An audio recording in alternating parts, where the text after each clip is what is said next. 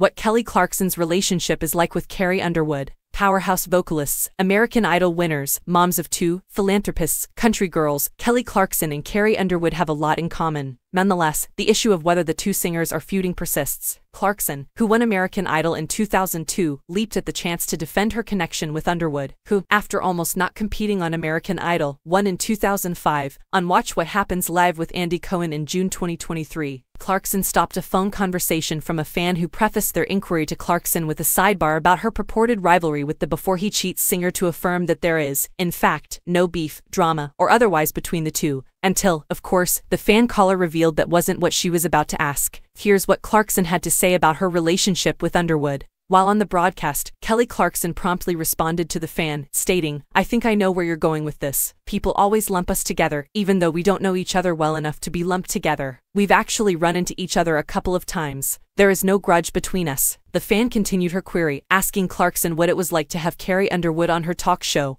prompting the since you've been gone singer to get up and hide behind the bar. Realizing she had answered the question prematurely, Clarkson returned to her seat, stating how wonderful it was to have Underwood as a guest and how much she'd love to work with her again. Kelly Clarkson also addressed the long-lived rumors in 2019 after the talk show host was sent a picture from Star magazine that featured her and Carrie Underwood on the cover with the headline, Secret Feud Explodes. Clarkson tweeted the picture, joking that she only had a feud with the person who chose her photograph, which Clarkson said shows her with the worst expression I've ever made W, zero muscles being used in my face. Underwood responded via Twitter with a tongue-in-cheek gif of Reba McEntire, writing, At least Reba is here to save the day, referencing the star cover's suggestion that Clarkson's relationship with Reba McEntire caused the country star to intervene in the supposed drama. The singers also tweeted a poll by The Tilt that asked users to decide which of the two American Idol winners was more iconic. I think we're both winning in life and pretty blessed. Singers, mamas, CEOs. Go ahead, Carrie Underwood. Clarkson wrote, in a heartwarming display of solidarity, Underwood replied that she had actually voted for Clarkson. It appears there's no bad blood between the two, and anyone who suggests otherwise is trying to rile up drama that doesn't exist.